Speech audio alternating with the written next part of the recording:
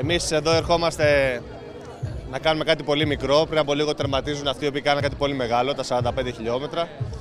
Ε, πραγματικά μόνο θαυμασμό για αυτούς τους ανθρώπους, αλλά και θαυμασμό νομίζω για τον οποιοδήποτε προσπαθεί έστω και λίγο να κάνει αυτό το οποίο ε, νιώθει μέσα του. Λοιπόν, να τρέχουμε, να αθλούμαστε, ε, είναι υγεία, είναι χαρά, είναι ζωή και όποιος μπορεί και εδώ και οπουδήποτε αλλού στην Ελλάδα.